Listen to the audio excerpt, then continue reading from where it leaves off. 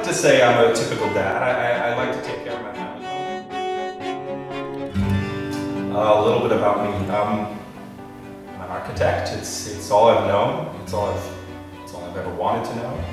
I have a beautiful family, a beautiful home. I work every day and provide for my family. That's pretty much my life. I take care of them. My dad? He's an architect. Suit and tie kind of guy. He's a nice guy. I have a wife, Diana.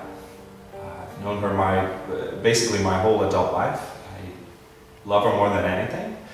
We've been together a lot of years, and it's, it's good. It's really good. Loving, loyal, beautiful.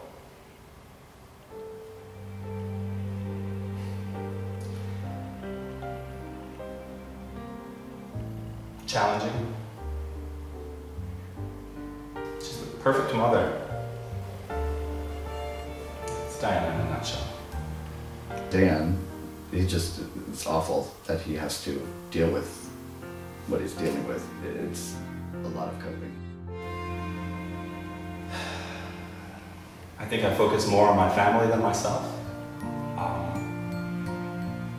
in a lot of ways, I think that um, myself in the back burner. My family's problems are my problems. I take care of them.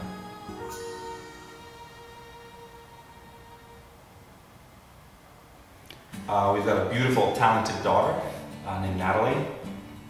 She uh, pretty much is, is the light of our lives. We do everything for Natalie. He comes to my recitals and he tries to keep it light and happy. Her dad is really enthusiastic. He's really happy like all the time. Natalie's a great kid. Um, she's got a good head on her shoulders. She's got a lot going for herself. She's she's all that a, that a dad or, or a mother, that parents could want. I'd like to think of us as the Brady Bunch, uh, with one daughter and no maid. He likes to make sure everything's not smiling and having a good time all the time, and sometimes it's just not that way, but he tries. I'd like to think we have the perfect home. You'd like to? I'd like to.